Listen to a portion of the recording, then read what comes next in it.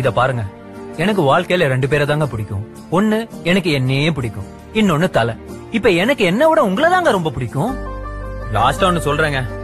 நீங்க என்ன விட்டுட்டு போனீங்கன்னா என் நம்பிக்கை என்ன விட்டுட்டு போன மாதிரி. நீங்க என்ன விட்டுட்டு போனீங்கன்னா ஆ என் தைரியம் என்ன விட்டுட்டு போன மாதிரி.